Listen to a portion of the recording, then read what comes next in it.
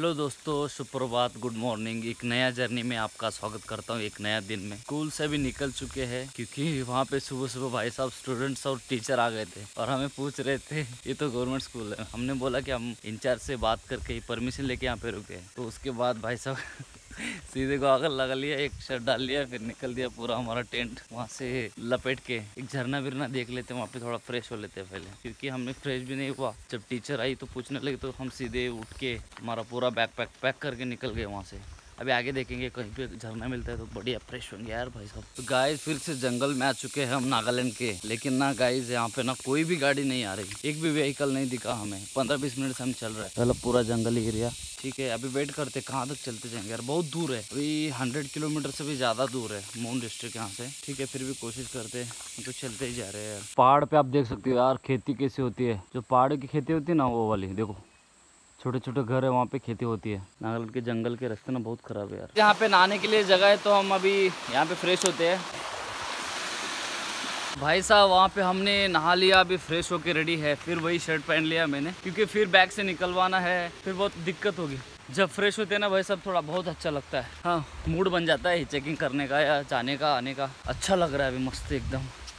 ठीक है, अभी कॉन्फिडेंस आएगा ये चेकिंग करने का। नॉर्थ ईस्ट में बहुत ज़्यादा पानी यार।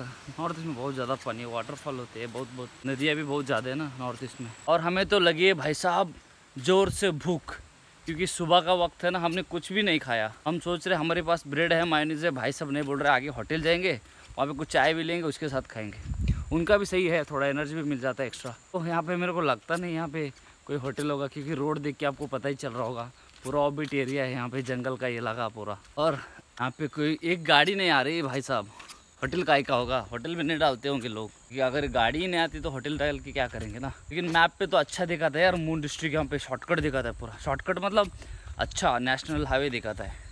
लेकिन जब रियलिटी देखते हो ना भाई साहब थोड़ा बहुत मतलब कच्चे है। अभी बन रहे हैं एक्चुअली हमने देखा बहुत जगह पे। जे सी बी गवर्नमेंट का चल रहा है। मतलब गवर्नमेंट ने काम करना शुरू कर दिया अभी। अच्छे साल में नागालैंड पूरा बदल जाएगा यार। मेघालय में ना रोड बहुत अच्छे हैं। टूरिस्ट के लिए कोई दिक्कत नहीं होती, रोड बहुत अच्छा है ना।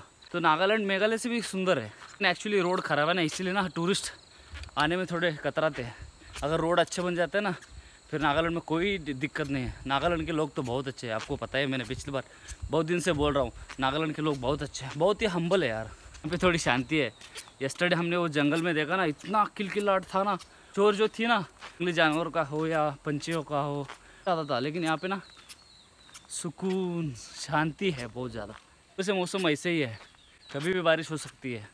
नहीं स्वेटिंग नहीं होता यहाँ पे, थोड़ा अच्छा है ठीक ठाक तो गाय यहाँ पे ना लिफ्ट ही मिलना बहुत मुश्किल है यार, क्योंकि हम अभी पंद्रह मिनट से यही है, पीछे चलते चलते आए थे, लेकिन लिफ्ट ही नहीं मिल रहा। आज तो संडे है ना, गाड़ियाँ बंद होती है पब्लिक ट्रांसपोर्ट भी नहीं मिलती। तो भाई साहब बोल रहे थे, आगे पूरा जंगल है तो यहीं पे रुक रहे हैं, अभी यहीं से देखते हैं, कोई लिफ्ट मिलता है कि नहीं। हम एक अनजान विलेज पे आ गए। लिफ्ट नहीं मिलेगा ऐसा भाई साहब बोल रहे हैं। भाई साहब बोल रहे हैं कि हेल्प कर देंगे। तो लिफ्ट मिलेगा तो पूरा पाइन की खेती होती है। तो गाय संडे को पब्लिक ट्रांसपोर्ट बंद हो जाती है नागालैंड में। तो मुझे अभी अभी भी पता चला। अभी ना रोड का बहुत दिक्कत है। एंड लैंडस्लाइड बहुत ज़्यादा होता है इसलिए। ठीक है, लेकिन यहाँ का नज़ारा देख लो भाई साहब। कितना ऑप्शन है।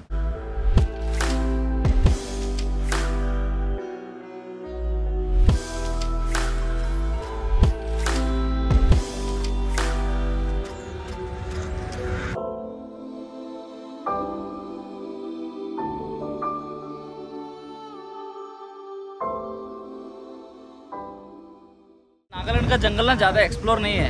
मतलब किसी ने ज़्यादा जंगल दिखाया नहीं। अभी अभी हम ही दिखा रहे हैं। हम पहले बंदे जो नागालैंड के जंगल भी आपको दिखा रहे यार। जंगल में मंगल कर रहे हैं हम लोग। तो गाय जहाँ पे हम आ चुके हैं। वहाँ पे देख सकते हो आप, बोर्ड पे लिखा है मून ठीक है, लेकिन जो हमें यहाँ पे लिफ्ट दिया ना अंकल ने, वो अंकल बोल रहे थे गाड़ी मिलना बहुत मुश्किल है। दो तीन दिन लगेंगे गाड़ी मिलने के लिए। लेकिन देखते दो तीन दिन लगते हैं क्या सही में। इंतज़ार करेंगे यार, क्या करेंगे? इसके अलावा कोई ऑप्शन भी हमारे पास नहीं है। आगे तो जाएँगे तो बहुत दूर से घूम के आना पड़ेगा। डेढ़ सौ किलोमीटर ज़्यादा जाएँगे, जाना पड़ेगा। अभी सोच रहे यही से लिफ्ट मांगेंगे अभी। एक भी गाड़ी आगे ना हो जाएगा फिर मून के लिए। लगभग मून यहाँ से कितना किलोमीटर लिखा तो नहीं है, नाम तो लिखा है वहाँ पे। ठीक है, इंतज़ार करेंगे यार। आगे जाके घूम के आने का मतलब है स्वर्ग लोग से घूम के आना। यहाँ पे बैठ के आराम से एक घंटा हो चुका है, लेकिन कोई भी लिफ्ट नहीं भाई। एक भी गाड़ी नहीं गई उस साइड में। उस साइड उस हाईवे से हमें जाना ना, वहाँ पे एक भी गाड़ी भी नहीं गई। ठीक है छोटा वाला बस स्टैंड है एक्चुअली बस स्टैंड नहीं है मतलब बैठने के लिए जगह है यहाँ पे। यही पे बैठे हम आधा एक घंटे से। कोई भी गाड़ी नहीं गई। भाई साहब मून की तरफ़ तो कितना घंटा लगेगा शायद? हमें भी पता नहीं कब लिफ्ट मिलेगा। इंतज़ार करेंगे भाई, क्या करेंगे? चलते तो नहीं जा सकते ना हंड्रेड किलोमीटर ये थोड़ा मतलब सेफ़ एरिया लग रहा है। मतलब बारिश भी इससे प्रोटेक्ट होता है पूरा, आप देख लो ऊपर। है तो अगर आज लिफ्ट नहीं मिलती है तो यही पे भी कैंपिंग कर सकते हैं। हम इसलिए यहीं पे रुके हैं यहीं से हम लिफ्ट मांगेंगे आगे। कितने आम लगे वहाँ पे पेड़ पे? बहुत सारे लगे यार बहुत सारे लगे दो दो तीन घंटे हो चुके हैं ऑलरेडी तीन घंटे हो चुके लिफ्ट नहीं मिली हमें। तो हमें आ रही है अभी नींद। क्या करें एक भी गाड़ी यहाँ से पास नहीं हुआ उस साइड में मून डिस्ट्रिक्ट की ओर। तो बहुत दिक्कतें होंगी यार आज, आज तो। यहीं पे रुकना भी पड़ सकता है यार। एक्चुअली शाम चार बजे तक इंतज़ार करेंगे उसके बाद यहीं पे कैंपिंग करना पड़ेगा। तो भाई साहब यार लगभग चार पाँच घंटे से यहीं पे रुके। एक भी लिफ्ट नहीं मिला भाई साहब एक ही गाड़ी जाती है नहीं उस साइड में। यहाँ पे हमने पूरा बैग रखा है। और इस रोड से हमें जाना है यहाँ से। लेकिन कोई भी गाड़ी यहाँ पे गुजरी नहीं अभी तक। एक भी गाड़ी नहीं गुजरी यहाँ पे। सीधे सारे यही जा रहे हैं। मुक- मुकुक चुन की जा रहे लेकिन जो मून डिस्ट्रिक्ट है ना वहाँ पे लिखा है तो इस साइड पे कोई गाड़ी नहीं भाई साहब। पाँच छः घंटे हुआ है, यहीं पे चढ़ रहे यार हम। ऊपर एक चर्च भी है। पहली बार हुआ है मेरे साथ। वहाँ पे उस होटल पे थोड़ा बहुत खाना खाया था। अभी बहुत ज़्यादा भूख लगा है। अभी यहाँ पे कौन सा होटल बंद है। पूरा आज संडे है ना, आज बंद रहेगा। नागालैंड में संडे के दिन कुछ भी नहीं मिलता। खाना तो खाना पड़ेगा। हमारे पास ब्रेड भी नहीं है, कुछ भी नहीं है अभी। पाँच घंटे होने के बाद हमें पूरा परेशान हो गए थे वहाँ पे बैठ बैठ के ना। कोई भी लिफ्ट नहीं करता एक्चुअली गाड़ी नहीं थी। तो उसके बाद हम थोड़े चलते आगे आए, तमलू टाउन की और पंद्रह किलोमीटर यहाँ से दूर है। तो वसंत भाई मिल गए हमें, उन्होंने लिफ्ट दिया हमें पंद्रह किलोमीटर के लिए। तो वहाँ तक जाएँगे खाने पीने का जुगाड़ करेंगे आज रहने का भी वही करेंगे, क्योंकि शाम के शाम के चार बज चुके हैं ना, अभी कोई आगे वाले गाड़ी नहीं मिलेगा। क्योंकि आज संडे है ना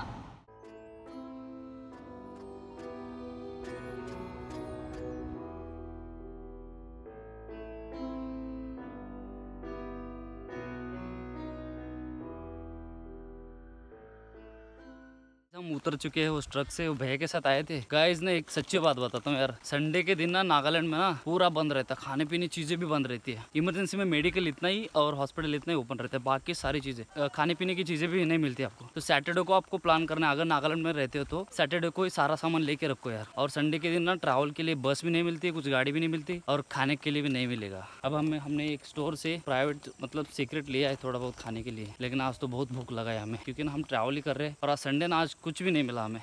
होटल भी बंद है दाल चावल कुछ नहीं मिला सब सब सब सब कुछ बंद। अभी यहाँ से मून रह चुका है सेवेंटी वन किलोमीटर तो कल करेंगे आज आज का जुगाड़ करेंगे कहाँ तो रहने का यहाँ पे। ये वाला छोटा टाउन है? तमलू नाम है इस टाउन का। देखते हैं कहाँ पे बैठने को मिलेगा। बैठ के थोड़ा कुछ खा लेते बहुत भूख लगा हमें। अंकल के घर हम रुके थे बिहारी थे। उनके घर में हमने चाय बिस्किट खा ली। अभी हमने जो लाया था वो साथ में लेके जा रहे दुकान से हमने कुछ खरीदा है बिस्किट और दूध क्योंकि आज संडे तो सब बंद। तो हमें अंकल ने बुलाया था दूर से आ जाओ इधर बोला। हमने बोला यूट्यूबर है।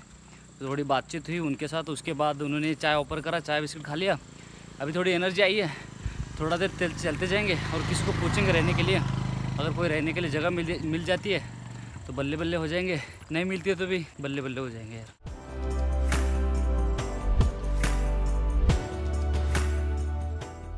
तो भाई, सब छोटा सा टाउन है तमलू। अभी आगे एक स्कूल है गवर्नमेंट स्कूल वहाँ पे जाके पूछेंगे। वहाँ पे अगर हो जाता है तो काम बन जाएगा आज का। क्योंकि ना अभी शाम हो चुकी है ना, अभी रात कभी भी हो सकती है। यहाँ पे साढ़े पाँच के बाद ना अंधेरा हो जाता है।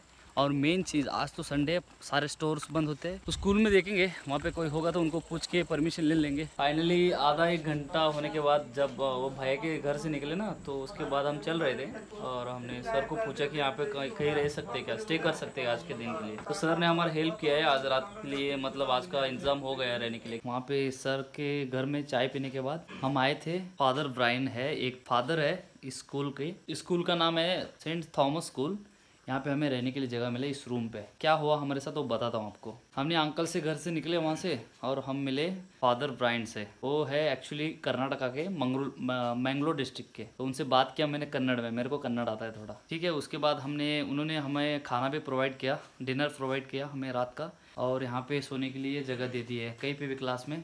सुबह छः, सात बजने से पहले उठना है हमें, क्योंकि क्लास उनका शुरू होता है। एक्चुअली उनका एक अदर रूम भी था, वहाँ पे दे रहे थे, लेकिन दो लोग एडजस्ट नहीं हो सकते थे, क्योंकि एक ही बेड था वहाँ पे। तो हमने सोचा कि क्लास में सो लेंगे, सुबह सुबह जल्दी उठेंगे, उठने के बाद फिर उनसे मिलेंगे सुबह सुबह। मुझे अच्छा लगा क्योंकि कर्नाटक का कोई बंदा मुझे मिला, क्योंकि मुझे कन्नड़ भी आता है। ओके, अभी यहाँ पे रहने के लिए जगह मिला है। कैंपिंग तो नहीं करेंगे, यहाँ पे टेंट नहीं लगाएँगे।